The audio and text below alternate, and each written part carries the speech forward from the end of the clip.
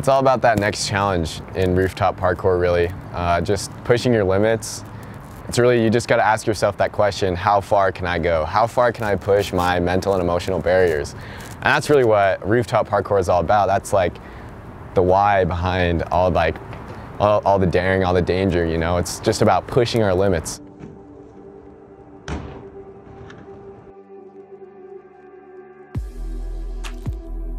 It's just a super cool feeling to be in the air going over, you know, something that if you fall, you could, you know, die or, I don't know, get paralyzed. You know, best case scenario, you're getting paralyzed. And, you know, just seeing, seeing that that's what you're jumping over is, it's a, uh, it's definitely a scary thing, but it's a very cool feeling.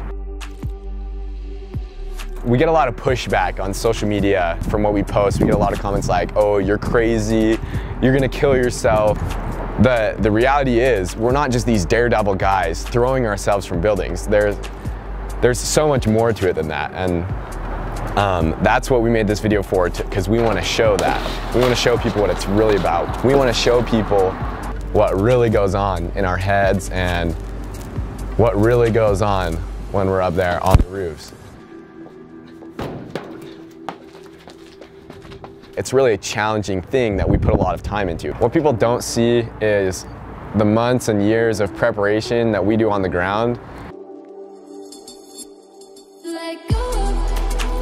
We train so hard on the ground. You're not gonna do a move over a roof gap with a death drop until you can hit it every single time on the ground. Like there's no way, that just doesn't make sense. As far as rooftop parkour goes, a lot of people ask, you know, why do you do it? Why do you go and risk your life for something stupid, for this little thrill, for this little three second clip of you jumping between two structures? And, you know, sometimes I, I wonder that myself, but then I realize that really it's about that progression. It's about, you know, getting better and, and pushing yourself to different limits, to different heights. And it's not, it's not a thing of, oh, I want to be a daredevil. It's not a thing of, I want to go and risk my life because it's cool or because I want to show what I can do. It's, it's more, I want to be able to know my limits. I want to be able to push past my limits.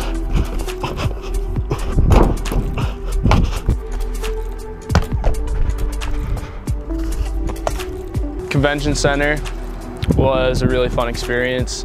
It was something that was definitely new for me.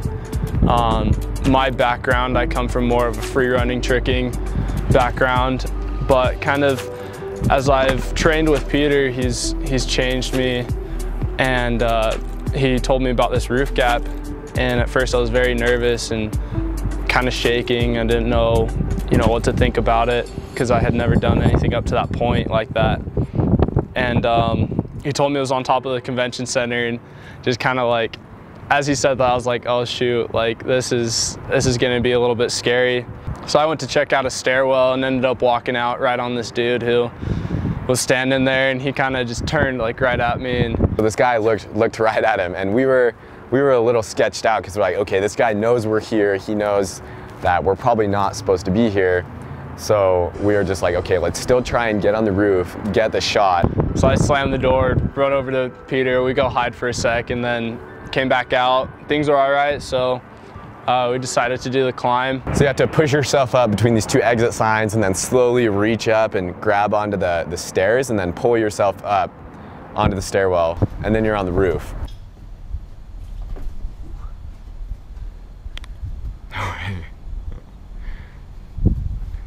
Yes, it's gonna work.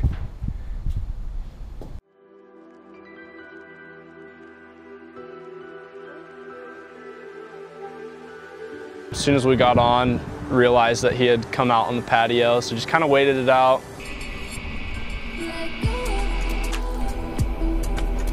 It was fun, but for me, kind of sitting there just waiting out the gap and knowing what the gap looked like, um, there's definitely a lot going through my mind. Finally the guy leaves, so we're like, all right, well, let's hit it.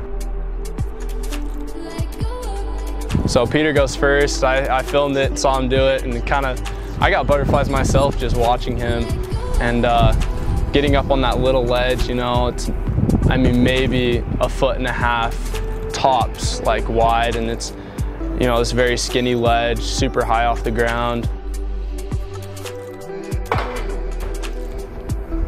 It's kind of a sketchy thing, you know, but as soon as I got to the, the takeoff of the gap, I just kind of stood there and took a deep breath, looked down at the gap, look over it where I was gonna jump and um, just went for it. And honestly, it's, it's the coolest feeling hitting that first gap and really any gap after that. Then we made our way down the stairs. We were being really quiet and we saw this dude walk out into the stairwell and he looked at us and we just, we were gone after that. Like we didn't want to like have anything to do with him. So we just ran out of the building. We were all excited. It was, it was a good feeling. Oh, it feels great. That was actually my first roof gap, so it's always good to progress a little bit. Personally for me, when I started getting into parkour and free running, um, I didn't realize how much actually goes into doing it. Um, I mean, that just that one day at the convention center, we got, you know, we were there for a two second clip. That was it. That's all we really got out of it. You know, two seconds each. It's only four seconds worth of, I mean, we are out looking, trying to get there for probably an hour in total, just walking around, trying to figure out what we were doing. We tried a couple different rooftops and just none of them worked. And so it was, you know, there's a lot of factors that weigh into it and there's a lot of things that can go wrong. There's a lot of things that you have to kind of weigh and figure out. But as soon as you figure it out and you everything kind of falls into place, it's just, it's amazing. It's a magical feeling, really. That's what I love about it, is that good feeling you get never goes away. That's why I keep doing it, because it's so fulfilling. It teaches me so many lessons about overcoming stress, overcoming challenges, facing reality, and it pays off. When you find a gap that is perfect and you do it, after all that time of trying and failing and trying and failing, you finally get the one and it feels so good. And that's what I love about rooftop parkour.